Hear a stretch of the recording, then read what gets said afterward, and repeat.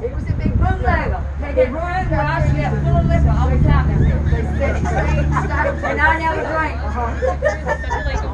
Uh, uh, was. Uh, you know, he was in, first, had the first charcoal grill in Raleigh on Hillsborough Street. Bruce. Yeah. And he had a book wrote about him.